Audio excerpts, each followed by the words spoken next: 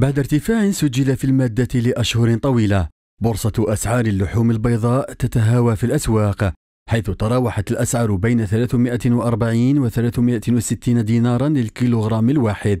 انخفاض أرجعه التجار إلى عزوف الزبون الذي تعددت خياراته فأضحى يفضل اقتناء اللحوم الحمراء المستوردة لكون أسعارها في المتناول. الدجاج هبط البريود هذه راه 36 في المولود وصلنا حتى 56 59 دوك راه 36 34 35 الأسعار راهي مليحة. الكويس رانا نبيعوه ب 32 30 سكالوب 60000 ما كاش الإقبال طالب على الدجاج ما كاش نقص الناس اللحم الحق 75000 اجراء موفق. هذا وفر وفر له شوا لا لا للمواطن باش يقدر يشري بكري كان المواطن هذا.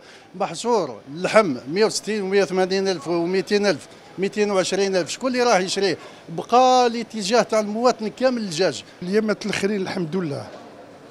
مانيش عارف آه، كي كثروا l'importation تاع اللحم وكذا.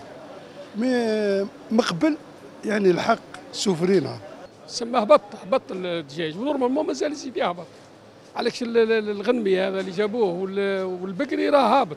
فتح الاستيراد عامل آخر ساهم في تراجع أسعار اللحوم البيضاء وفق حماية المستهلك التي دعت إلى ضرورة اغتنام الفرصة وإجراء تعديلات في شعبة الدواجن للقضاء على الاختلالات وتفادي سيناريو الارتفاع مستقبلا. فتح الاستيراد في حد ذاته. يعني كآلية جديدة سيساهم يعني في خفض أسعار اللحوم البيضاء خاصة أنه نعلم أنه المستهلك الجزائري آه، يعني آه، يضع اللحوم البيضاء في المرتبة الثانية بعد اللحوم الحمراء. يبقى فقط آه، فتح النقاش حول شعبة تربية الدواجن ويعني تصحيح الاختلالات الموجودة.